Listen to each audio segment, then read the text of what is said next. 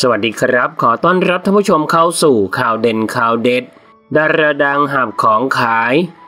เรียกได้ว่าบางคนกว่าจะสุขสบายก็ต้องดิ้นรนกันไป ล่าสุดนักปั้นมือทองอย่างพี่อุบวิริยะพงอาจหาร ได้โพสต์เฟซบุ๊กถ่ายทอดเรื่องราวชีวิตในช่วงที่ลำบากที่ต้องหับของขาย โดยเจ้าตัวได้ระบุข้อความว่า เพราะโชคไม่ช่วยไม่ได้เกิดมาคาบช้อนเงินช้อนทอง จึงต้องปากกัดตีนถีบด้วยตัวเองมาตลอดชีวิต อีกหนึ่งอาชีพที่พี่อุ๊บเคยทำก่อนที่จะเข้าวงการคือหับของขายครับ ไม่เคยอายไม่เคยงอมืองอเท้า ที่จะทำงานด้วยสองมือสองขาหนึ่งสมองหนึ่งปัญญาต่อสู้กับชีวิต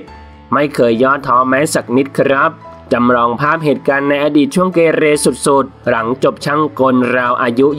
23-24 ครับ ที่ญาติไม่มีใครเอาจึงต้องหาบของขายประทังชีวิต เรียกได้ว่านักสู้ชีวิตตัวจริงเลยครับ อย่างไรก็ขอเป็นกำลังใจให้ทุกท่านที่กำลังประสบปัญหาโควิด -19 สู้ๆนะครับ ขอบคุณเรื่องราวดีๆ จากพี่อุบวิริยะด้วยครับท่านผู้ชมนะครับ มีความคิดเห็นอย่างไรกับเรื่องนี้ลองแสดงความคิดเห็นกันเข้ามาดูนะครับ ขอขอบคุณข้อมูลจากมุมข่าวขอบคุณครับ